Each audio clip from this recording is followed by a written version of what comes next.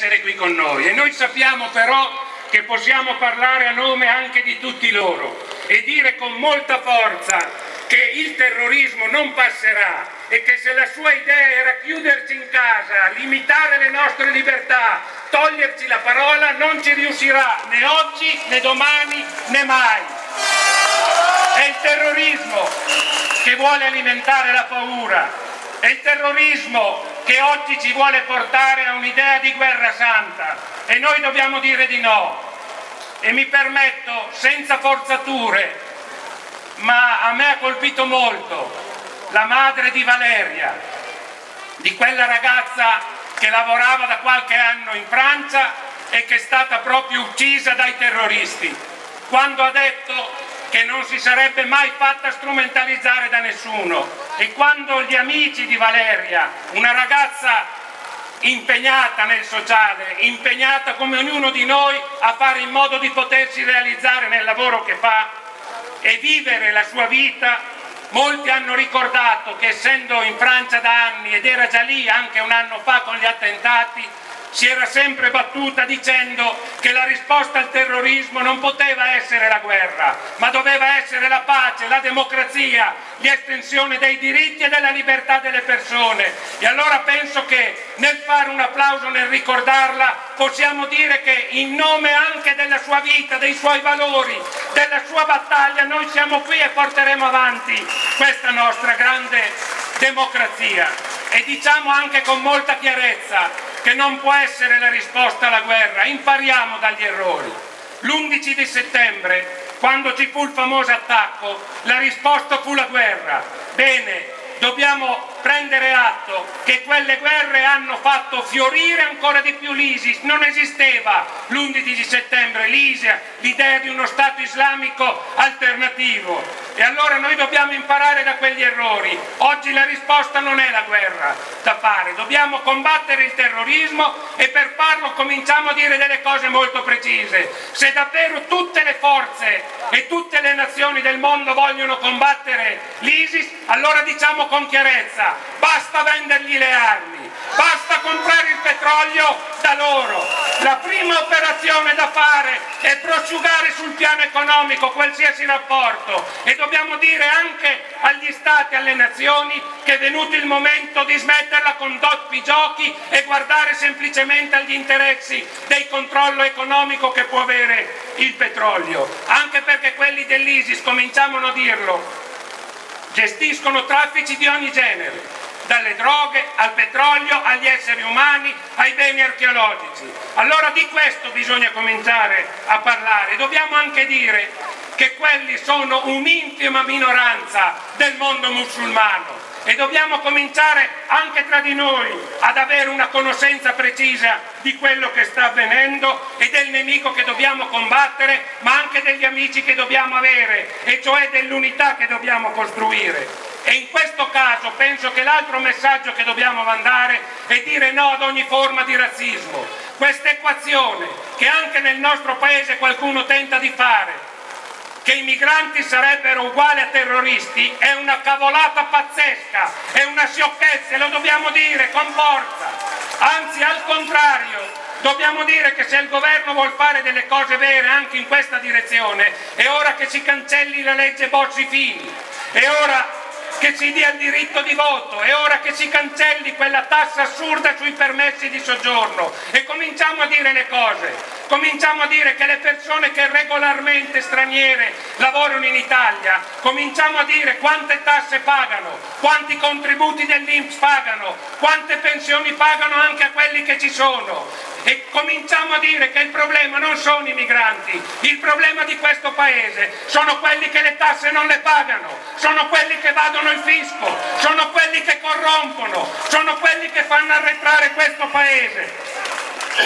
E allora è questo e allo stesso tempo dobbiamo dire, e io penso che dobbiamo ringraziare l'intelligence, le forze dell'ordine che con, con, il loro lavoro stanno permettendo assieme a noi di difendere la democrazia, di difendere la libertà e di essere qui a poter democraticamente continuare a batterci in questa direzione. E questo io credo sia il messaggio che oggi dobbiamo costruire ed è un lavoro che dobbiamo fare nei prossimi giorni. E come è stato detto, per dare un senso di unità, molti di noi, anche il sottoscritto, la stessa CGL, che è qui assieme a noi oggi e che ringraziamo per il contributo e il lavoro che abbiamo fatto assieme, oggi anche noi saremo nella piazza che è stata convocata dalle associazioni musulmane, perché è il momento dell'unità, al centro ci deve essere la persona, non c'entra la religione, l'idea che hai, il centro è la persona, la libertà, la democrazia, i diritti. E dobbiamo impedire che invece passi un'altra logica, che è una logica che risponde anche a questioni economiche, finanziarie. Badate che se ci riflettiamo non c'è mai stato tanti conflitti e tante guerre come adesso e da un certo punto di vista non c'è mai stata una concentrazione del potere economico e finanziario come adesso, anzi è il momento che la politica torni ad essere politica, che gli stati e i governi tornino ad essere stati e governi che fanno l'interesse generale dei popoli, delle persone e non della finanza e non del fatto che è la finanza che comanda o che decide per profitti e per interessi, perché una parte delle guerre deriva proprio da lì, dal controllo del petrolio, dal controllo delle multinazionali. E questa logica che io credo noi dobbiamo combattere. E allo stesso tempo dobbiamo anche dirlo, noi nel combattere il terrorismo, nel dire no alla guerra, vogliamo anche che non vengano cancellati i nostri problemi. In questi giorni, nel silenzio più totale, di nuovo al Senato il governo ha messo la fiducia sulla manovra di stabilità e c'è il rischio che non si parli di quello che sta succedendo ed è una manovra sbagliata, lo diciamo con molta forza. È una manovra che non serve a questo Paese. Il nostro problema è il lavoro, il nostro problema è che chi è disoccupato oggi, chi è precario, deve avere il diritto e la possibilità di lavorare e di potersi realizzare. Ma quella manovra non affronta questi temi, non crea lavoro. È una manovra che rinvia i problemi, che non mette in discussione i vincoli europei che non combatte l'evasione fiscale, che non combatte la corruzione, anzi dà un'idea, dà dei messaggi, pensiamo all'elevamento del contante, pensiamo ad aver cancellato per tutti, a prescindere, la tassa sulla prima casa. In un paese che ha l'evasione fiscale che conosciamo, se vogliamo recuperare i soldi bisogna andarli a prendere dove sono, e dove sono? Sono nell'evasione fiscale, nella corruzione. Introdurre una tassa sui grandi ricchezze, sui grandi patrimoni, oggi in Italia è la cosa da fare, perché abbiamo bisogno di investimenti, di piani straordinari per l'occupazione e per il lavoro. E non è il momento di tagliare la spesa pubblica. Non ne parlano, ma dentro a quella legge di stabilità sono previsti per i prossimi tre anni più di 20 miliardi di tagli. È previsto un taglio senza precedenti alla sanità, e alla messa in discussione di diritti fondamentali. Stanno addirittura tagliando anche i capi, i patronati, i servizi che servono alle persone. Stanno tagliando le risorse per poter rinnovare i contratti nazionali. E eventualmente i soldi invece a chi li danno? La tassazione viene calata non per fare pagare meno tasse al lavoro dipendente e per aumentare gli stipendi, ma si parla di ridurre la tassazione ai profitti d'impresa. Si sta ragionando su una riduzione generalizzata, nemmeno vincolata agli investimenti che dovrebbero fare, semplicemente con un'idea che è quella che lasciare licenziare le persone più facilmente e fare pagare un po' meno di tasse sarebbe la strada per far uscire l'Italia dalla crisi. Diciamolo, è una stupidaggine totale. Non solo.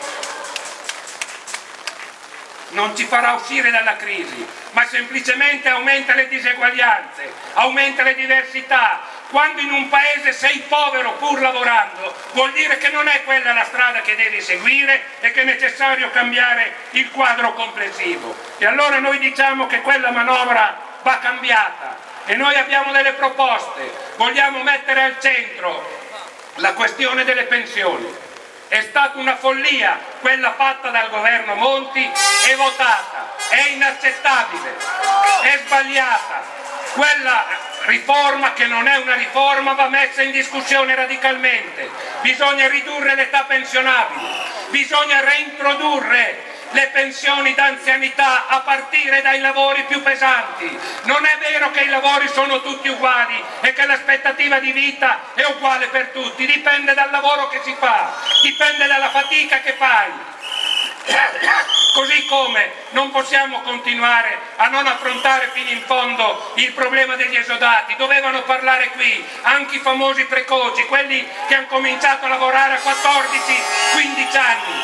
Questo è un punto che va affrontato, ma lo dobbiamo dire anche per i giovani, per il futuro, perché è un sistema puramente contributivo è un sistema che non sta in piedi, non esiste in nessun paese d'Europa. Questo vuol dire dire alle persone che non c'è più la sanità e la pensione pubblica, ma che si vuole privatizzare tutto. E questa non può essere la strada che noi seguiamo. E su questo punto è necessario che da oggi, lo diciamo alla CGL ma anche alla CIS della UIL, è necessario che riconosciamo gli errori che abbiamo fatto e che su questo tema apriamo davvero una mobilitazione nel Paese, perché lo dobbiamo dire con forza che se si vuole creare posti di lavoro, noi che l'università non l'abbiamo fatta, sappiamo che se mandiamo in pensione le persone vuol dire che i giovani possono andare a lavorare e questo è un elemento da mettere in campo da subito.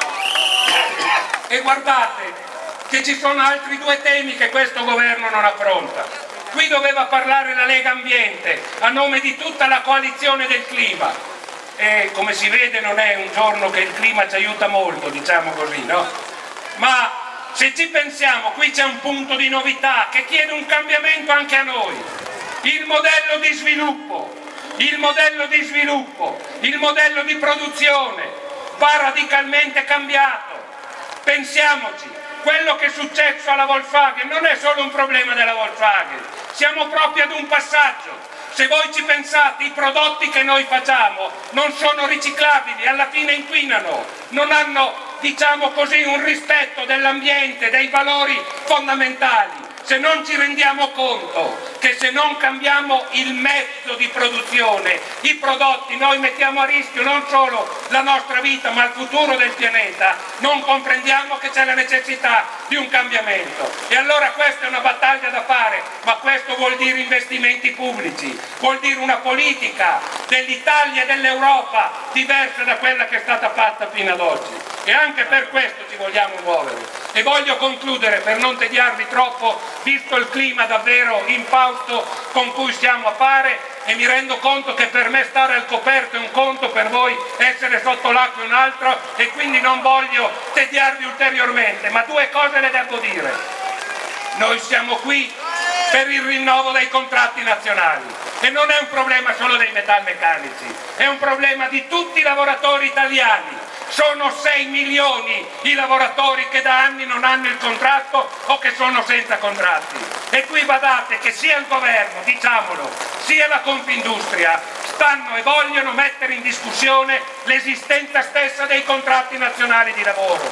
Quando si dice defiscalizziamo la contrattazione aziendale, vuol dire mettere in discussione il contratto nazionale. E allora c'è una battaglia da tutti da fare e lo dico perché in questi giorni i metalmeccanici nei luoghi di lavoro hanno votato e hanno detto che c'è una piattaforma della Pionca approvata e noi abbiamo riconquistato il tavolo della trattativa. Grazie a voi, grazie a un sindacato che rappresenta, che ancora nelle fabbriche ci volevano cancellare e invece siamo più forti di prima, con più voti, con più iscritti e non ci fermeremo. E infine, infine, credo che sia importante dire una cosa. Io ringrazio la segreteria della CGL che doveva parlare qui oggi, ma che ha dato il mandato a me di poter parlare a nome di tutti e voglio partire da un punto. La CGL ha deciso una cosa importantissima la scorsa settimana. Noi l'avevamo detto che non ci saremmo fermati, che il Bucks non l'accettavamo e lo volevamo cambiare Bene, la CGL ha deciso che entro il mese di dicembre verrà messa a punto una proposta, un nuovo statuto di tutti i lavoratori e di tutte le lavoratrici, fino al lavoro autonomo. E abbiamo anche detto che quella proposta la discuteremo con tutti, perché noi vogliamo uno statuto di tutti i lavoratori, non semplicemente tornare a quello di prima, noi li vogliamo estendere i diritti a tutti, anche quelli che non ce li hanno. E dobbiamo superare la competizione tra lavoratori, ma la decisione importante che è stata assunta è che tra gennaio e febbraio ci sarà una consultazione straordinaria di 5 milioni e mezzo di iscritti. E in quella consultazione, oltre a dire se si è d'accordo o no con la proposta, decideremo assieme anche di fare un referendum abrogativo per cancellare quelle leggi sbagliate. E il governo lo deve sapere che non ci fermiamo, che questo vale. E quando un governo fa delle leggi sbagliate noi le metteremo in campo tutto. E abbiamo bisogno in questa fase del massimo di unità dei lavoratori, delle lavoratrici e della CGL. Grazie per essere stati qui, per aver sopportato questo clima, grazie per il vostro coraggio e diciamolo, questa è la parte sana del Paese che non si inchina e che tiene assieme la lotta per il lavoro, per i diritti, contro il terrorismo e contro la guerra. Grazie.